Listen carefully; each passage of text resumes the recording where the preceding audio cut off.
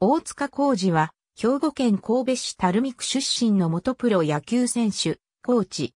2015年7月27日からは、東北福祉大学公式野球部の監督を務めている。愛称は、つかやん、ひかりちゃん、ビビ、ビビビ。あるいは単に、つか、つかやんとも。また、金本智明のように、東北福祉大学の後輩は、社長と呼ぶ例もある。育英高校に進学してから野球を始め、高校卒業後は、東北福祉大学に進学し、同校の公式野球部で、佐々木和弘らと共にプレー。東北福祉大学伝説のキャプテンと呼ばれて、各球団の後輩選手から慕われていた。ルームメイトは金本智明だった。1989年のプロ野球ドラフト会議で、西武ライオンズから3位指名を受け入団。プロ1年目の1990年から1軍出場を果たす。西武黄金期の貴重な控え選手として、森祇晶、東尾治の両監督に仕えた。特に日本シリーズには滅法強く印象に残るプレーを見せている。1992年の日本シリーズでは第6戦の9回をもてにし、1点ビハインドの場面で死球で出塁すると続く秋山幸二の右前安打で一塁から一気に本塁を突き、古田敦也のブロックをかいくぐって、左手で本塁にタッチする高走塁で生還。1994年はシーズン出場は15試合だったが、日本シリーズは全試合2番ライトでスタメン出場し、打率320を記録。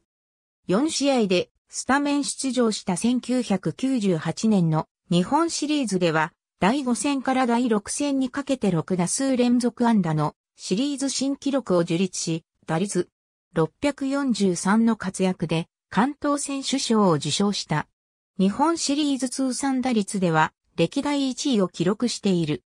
2001年限りで引退後、文化放送及び CS 放送、J スポーツで解説者、リポーターを務めたほか、金村義明と共に J スポーツのプロ野球バラエティ番組である、頑張れ日本プロ野球？の進行役も務めていた。